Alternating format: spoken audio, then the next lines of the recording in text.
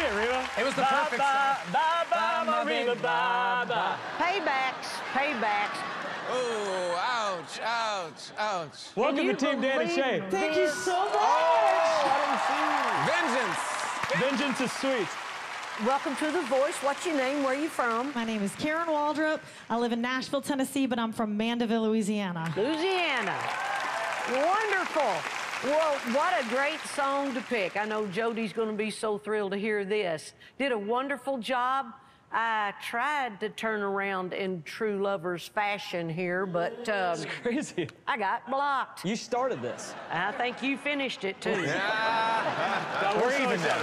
You know, there's been uh, a, a, a little feud started here between Reba and Dan and Shay as the first time we've ever had, you know, two country chairs on the show. They've been blocking each other to get to the country artists that they want.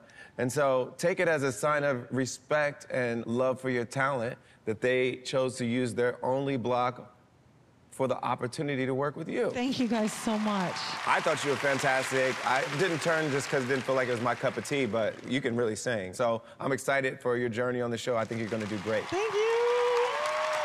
It sounded like an amazing performance. I didn't turn around either just because I feel like you would be better off working with Dan and Shay or also Reba, which you guys took that away. Yeah. Um, as the show progresses, we'll all get an opportunity to possibly take you away from Dan and Shay. Not so fast, guys. Easy. Come on, come on. Congratulations on making it to The Voice. Hey, I got two for one. I love it. I'm really excited. Thank you guys so much.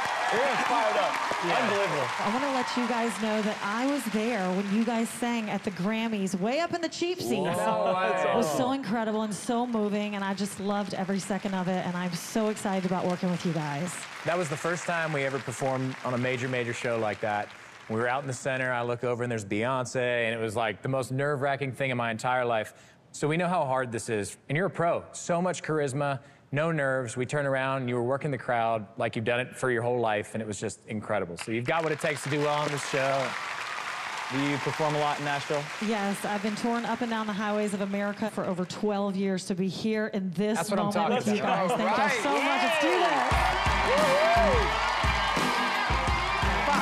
Karen's voice was so confident and powerful. Such an amazing country singer. She looks like a star.